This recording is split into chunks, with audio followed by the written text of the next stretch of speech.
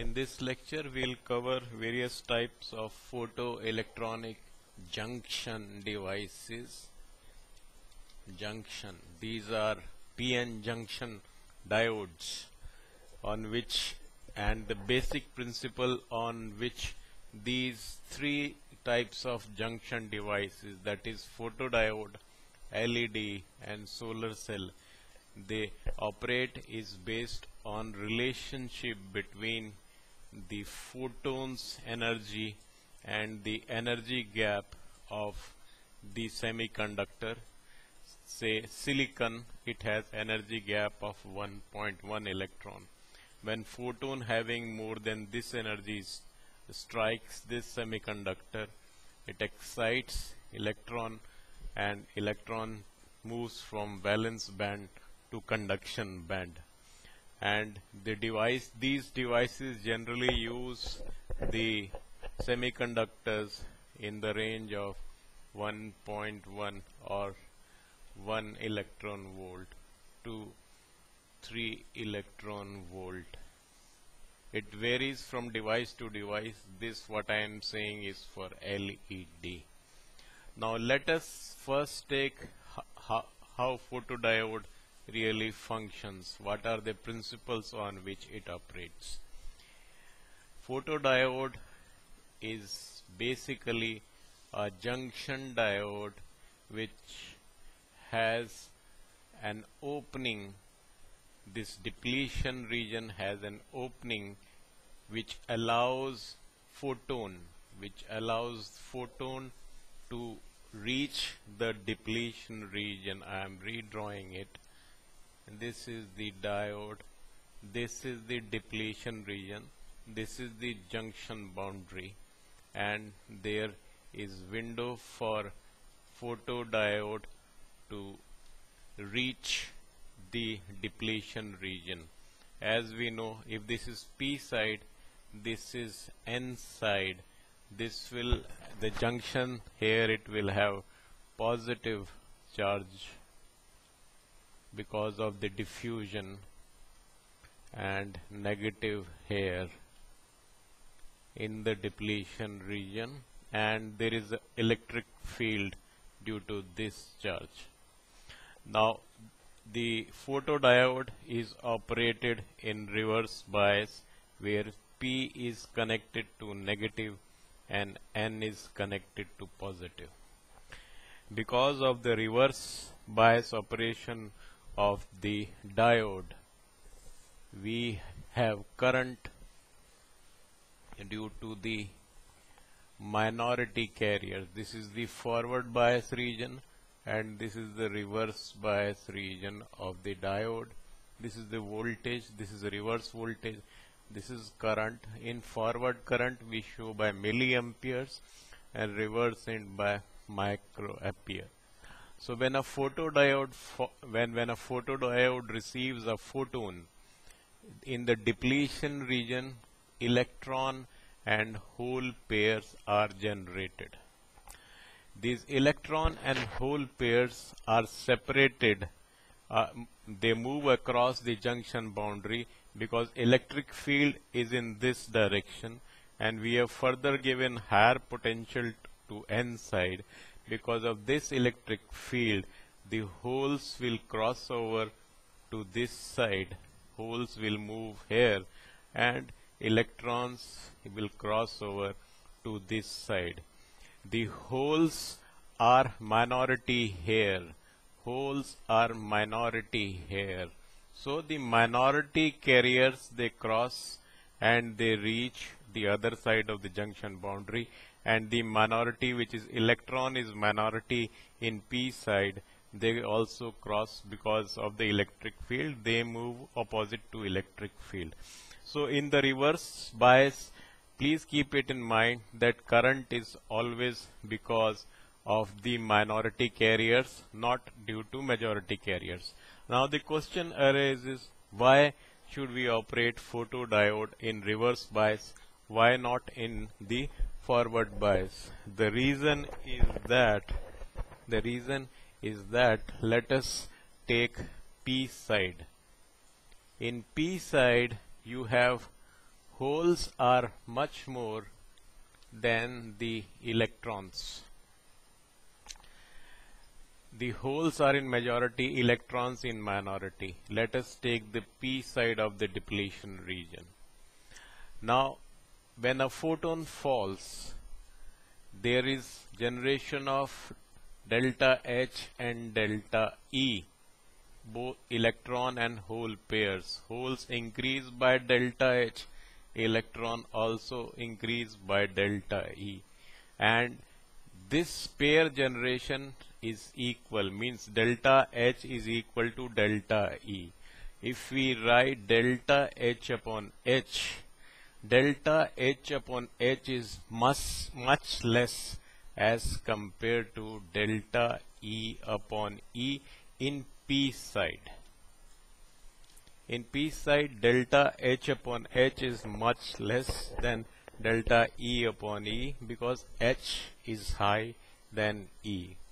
So when when the photon falls, the change delta H upon H, the rate of change of the majority carriers is much less as compared to the minority carriers.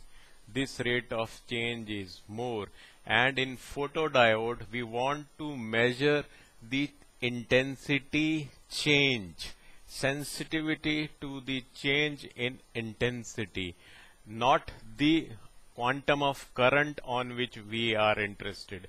We are interested in the change and change is more with the minority carriers.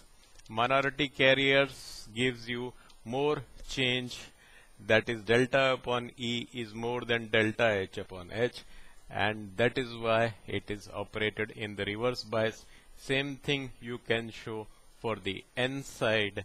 If we take n side, then in n side h is much less than e, but the delta h is equal to delta e, the electron hole pairs. So delta h upon h is much greater than delta e upon e. In n side, this is the minority so change in the minority concentration as compared to the original concentration is much more than the change in the majority concentration as compared to the original concentration. And in reverse bias, the current is because of the minority, because of the minority.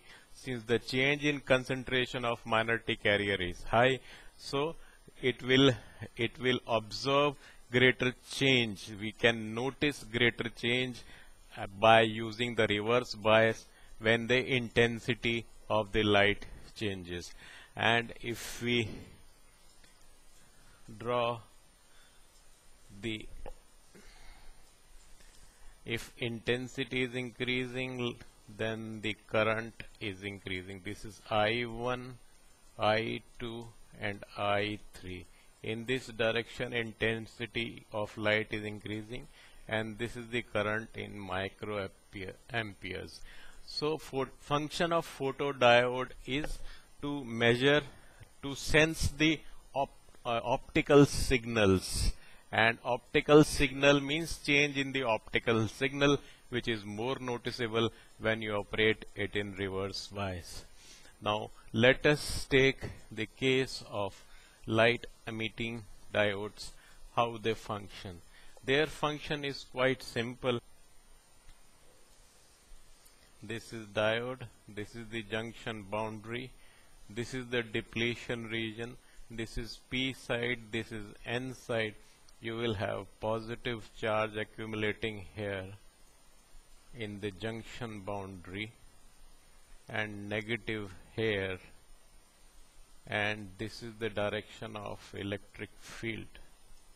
When you apply forward bias and this is transparent again when you apply forward bias positive and and to negative what happens the holes which are majority here they diffuse they move across because of the forward bias the hole moves from p side to n side now here the holes are minority carriers. Sorry, elect uh, the holes are the minority carriers. Holes are moving, holes have crossed the junction. Similarly, electrons move to this side. They are majority here, but minority here. So what happens?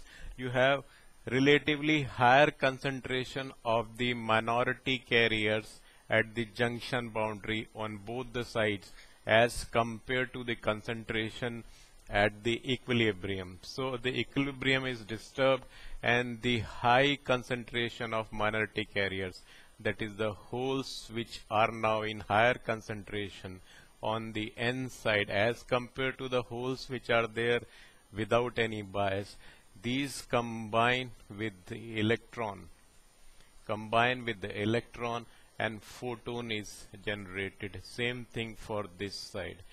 This we can say it's injection of the minority carriers. During forward bias the minority carriers are injected across the junction boundary and they combine with the majority carriers like electrons which were holes which were the majority here they've crossed they are minority here. Now inside they are minority here but electrons are majority. And these excess holes which have come here combine with these majority carriers. So minority carriers which are now in excess combine with the available majority carriers and photon this energy is generated.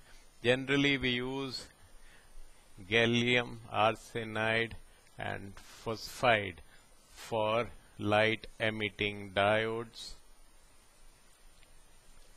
And you can also make infrared light emitting diodes we have to suitably choose the energy level one precaution which has to be kept it it has a low reverse bias voltage so if the reverse bias voltage greater than the rated reverse bias voltage is given, it gets damaged.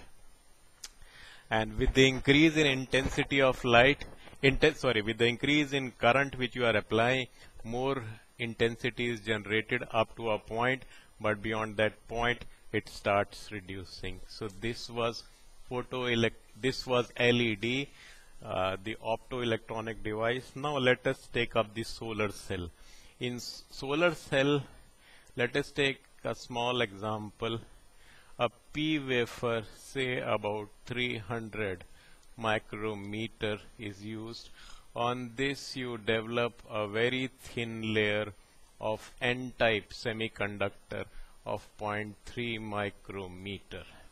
This is n-type and this area is kept large and you have metallic plates like this conductors and on this you have a base.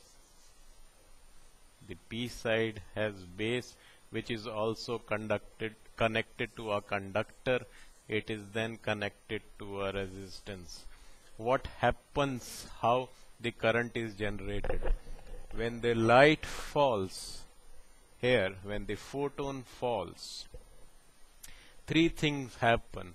One is generation, generation of E and H pairs. If you again look at the junction boundary of the diode, this is N P side, this is N side, this is positive, positive, and this is negative.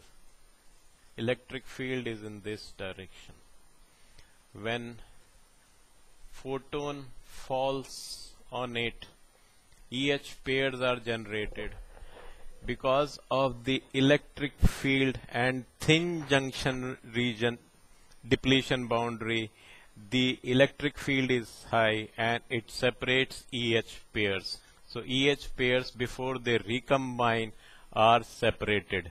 So holes will go to this side and electrons will go to this side. And then they are collected so generation then separation and third is collection. You have three stages. Collection is the stage where you get the current. It is holes are moving in this direction and the direction of movement of holes is to be taken as the direction of the current. It is also a reverse because in which you are in this you are having current due to the minority carriers like the holes are crossing over to this side. From here holes were minority here and majority here.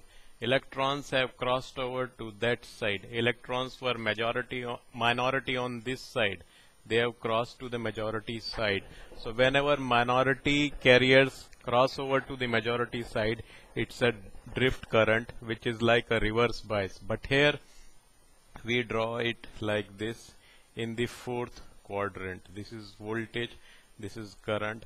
Because we are not supplying supplying the voltage we are obtaining the current because of the photon. And this is how the diagram is made showing relationship between voltage and current.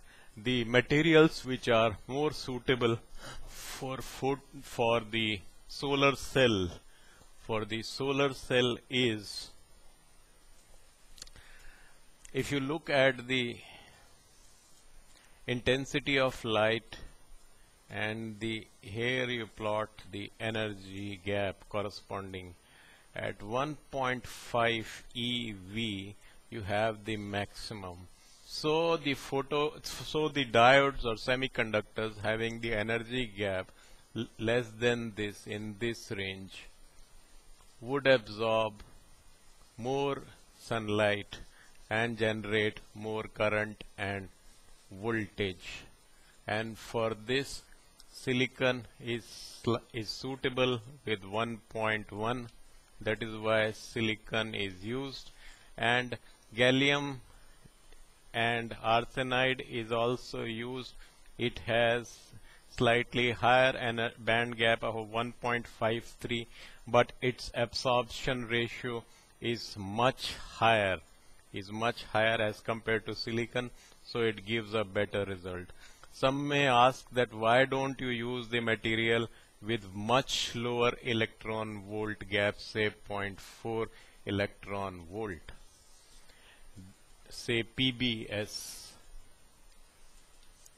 because if we, we use this with very less electron volt gap most of the sun the sunlight would be absorbed and by the top layer of the solar cell. If you recall the diagram, there is P layer and then there is N thin N wafer on that and this is the base plate and this was connected to a conductor. The sunlight is falling like this. If the energy gap is very low most of the sunlight gets absorbed in the top layer and it doesn't reach up to the depletion region where we need the EH pairs to be generated so that the electric field separates the pair and the required voltage and current is generated. So this is all about the three important optoelectronic devices that is LED, photodiode and the solar cell. Thank you.